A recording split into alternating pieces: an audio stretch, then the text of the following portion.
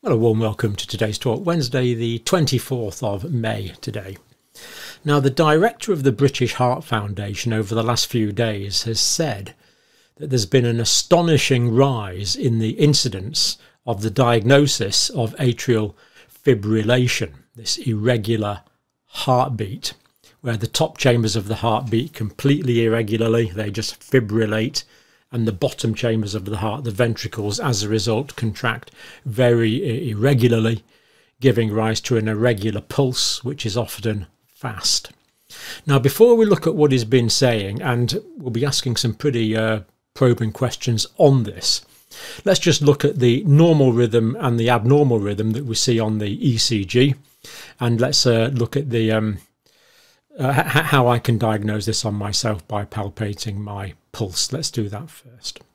So first of all here we're looking at a normal rhythm. This is called a sinus rhythm.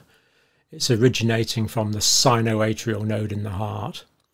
And we see the normal wave we would expect, the P, this QRS and the T, and it's fairly regular. It's a normal sinus rhythm and we can see it refreshing there. And currently the heart rate is 71. So that's what it should look like. Let's now compare that to atrial fibrillation for comparison.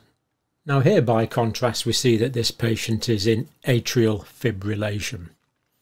So the ventricles are still contracting, these spikes we can see here, but the bit in between the atrial contraction is all completely irregular, the atria are fibrillating. And this gives rise to a very, very uh, irregular feel to the pulse. So that is atrial fibrillation there, and that's what there's been an astonishing rise in in the United Kingdom. Now I'm just going to check if I'm in atrial fibrillation myself at the moment. So there's my uh, left hand. And if you move up to the wrist there, in line with the thumb, you've got that uh, knobbly bit on the bone there, the radius in line with the thumb. Then you've got that tendon there that pulls up when you move your hand. You can feel it tightening. And what's good to do is if you form a few fingers in a row like that and just put them flat on something, then that gives you a bit more sensitivity. And if you put your fingers on that tendon there and then just move them down over the radius there and press in that little valley, that little notch you can feel there. And if you press on that, you can feel how regular your heart rate is. That's the pulse, good place to feel the pulse there. And it should feel fairly regular in terms of rate and amplitude. If it's irregular, then that is uh, an abnormal finding. So what we're looking at today largely comes from this article here. Number of people with heart rhythm condition rise by 50% in a decade. That's the article there, and there's some fairly probing questions we want to ask about that. But let's run through some of the uh, main points of the article first of all. So that's the title there, and that's the reference there. Always check it out for yourself to make sure I'm not making this up. Now, atrial fibrillation, uh, 1.5 million sufferers in the UK. Um, it was 1 million in 2013. That's a 50% rise over a, a decade. Now, of course, immediately you're going to ask, well, when did this rise occur? And the article doesn't tell us. That'll be part of the question that we're going to be looking at. In fact, where they get these numbers from is a little mysterious, but uh, more on that in a minute. Um, so they're saying it's a 50% rise in a decade. One in 45 people in the UK currently have atrial fibrillation, which is a very high number. These people are times more likely to have a stroke, potentially fatal or life-changing stroke. Now what happens here is because the top chambers of the heart aren't contracting properly, they're just fibrillating, then that means there's pockets of blood that aren't being ejected with the contractions and you get sort of stagnant blood in the atria and that can contract um, because the atria aren't contracting that can congeal rather. And you get blood clots forming because of the stasis in the blood because it's just fluttering rather than uh, purposefully contracting so that makes perfect sense and of course we've known about this for as well as long as I've learnt about these things for decades so more likely to have strokes um, believed to contribute to one in five strokes an estimated 270,000 people in the UK are undiagnosed. They don't know they have it. So that means there's possibly 1.77 million people in the United Kingdom who have atrial fibrillation. This is a remarkably high number. When did these numbers go up? More on that in a second because we're not actually told, so I'll be asking those questions. Uh, symptoms of atrial fibrillation, palpations. Uh, so, so that's basically an awareness of the heartbeat. You can feel that your heart is beating inside your chest or, or thumping inside your chest. Often, well, it will be irregularly. Breathlessness, dizziness, and paroxysmal means that this can come and go. So people can have this some of the time and not have it at uh, other times.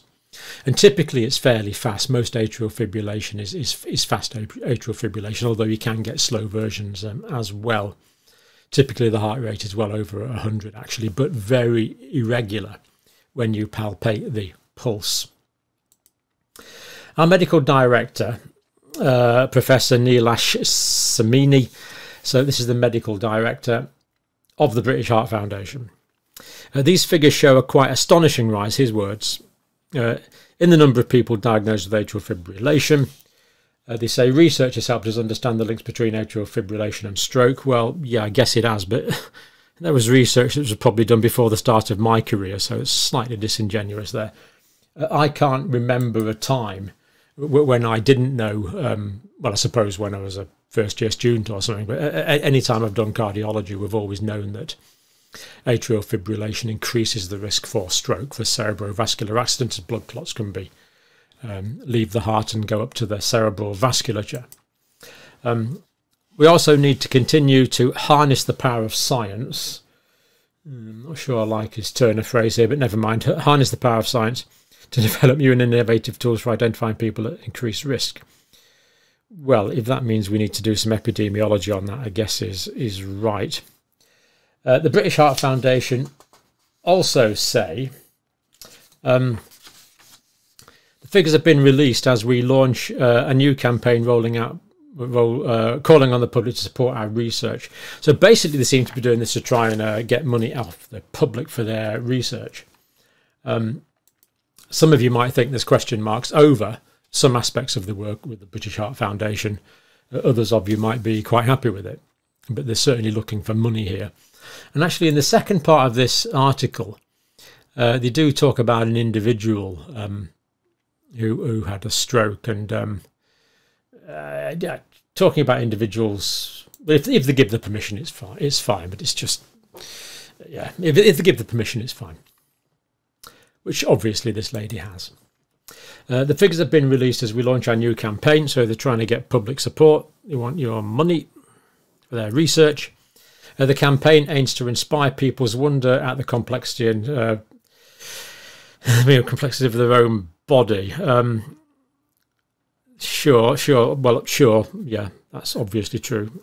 Uh, and how, how life-saving research can help if it goes wrong. Yes, bodies are complex and uh, precious. But again, that's fairly obvious.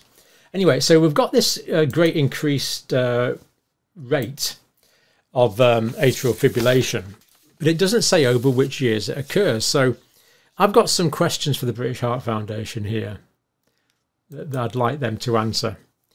Um, what was the rate increase or change in prevalence during 2019, so pre-pandemic, 2020, when there was a lot of COVID, and then 2021, 2022, 2023, when there was other interventions being carried out. So basically, we want a graph, don't we? But we're not given one. So the British Heart Foundation is saying they've got figures here, data here, but they're not telling us what it is, which is rather frustrating, really. Do they know what it is? If they know what it is, why isn't that being shared with the public? Do they have data that other agencies don't have? If not, why is that not being shared with the public? Or don't they have the data? But this article certainly implies that they have the data because they're talking about this increase. Um, has the increase been correlated with any particular factors that have been changed between 2019 and uh, 2023? So anything that's happened in that period of time that could have increased the rate of atrial fibrillation, have any correlations been made? They don't tell us that, but I'm asking them that. And if so, what is the strength of these correlations? Is there a strong correlation? If there's a strong correlation, it's more likely to be causal. Is there a temporal correlation effect? So temporal correlations means that the effect has to come after the cause. So is there a cause that's occurred, and then there's been an effect after that cause. I'd like to know that as well. Again, we're not told that. Is there any temporal correlations? We're not told. Um, is there a plausible mechanism to explain correlations? It's always better if correlations can be accompanied with some sort of plausible mechanism. Something that can explain what's going on in biological, physiological terms. For example, is there anything that's affected the myocardium of the atria that could have caused the abnormal rhythms, a plausible mechanism of action? Unfortunately, that one gets another uh, question mark. We're not told that. Um, how do UK figures uh, of increased atrial fibrillation relate to other countries? Is this a global phenomena? Um, are there particular countries uh, that have been through particular experiences where this this is higher? We don't know. We're not told. But that would be an interesting question to ask. Might be a good line of scientific research for the British Heart Foundation. Are there any common factors that connect potential changes across different countries, as we've said? Now, the reason it looks like the British Heart Foundation are up to date with these numbers is I had a really good look around for where they could have got this data from. And um, the only thing I can think is it's their own data because I can't find any other data in the public domain.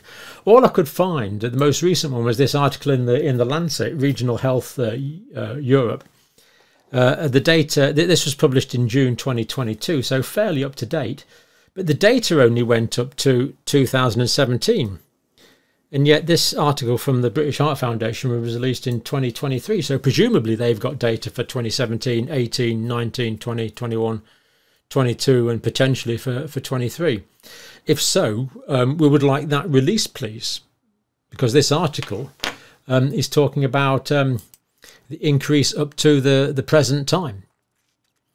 Um, so quite where that um, data is, is actually a bit of a bit of a mystery. Now, it would be remiss of me to finish this video without um, giving you some advice from the NHS website, which I put a link for. Uh, see a general practitioner or call 111 if you have chest pain that comes and goes. You have chest pain that goes away quickly but you're still worried. You notice a sudden change in your heartbeat. Your heart rate is consistently lower than 60 or above 100, particularly if you're experiencing other symptoms of atrial fibrillation, such as dizziness and shortness of breath. It's important to get medical advice and make sure it's nothing serious. So I'll put that link there. So um, so I've got that's that's um, so it's one, two, three, four, five, six, six or seven questions there for the British Heart Foundation um, that would really cast a lot of light on this, but particularly what data do they have for 2019, 2020, 2021, 2022, and 2023? And uh, if they have that data, why is it not in the public domain? So we'll leave it there for now. It is of a, of a concern that there is more atrial fibrillation. 1.77 million people in the UK with it, uh, which is uh, it's a lot of people. It's one in 45 people in the United Kingdom or more or higher than that have got atrial fibrillation. So a significant uh, pathology and uh, greatly increasing the risks of strokes as well as being a problem in its own in its own right. So we'll leave it there and hopefully we'll get some more data from the British Heart Foundation uh, soon. We would hope. Thank you for watching.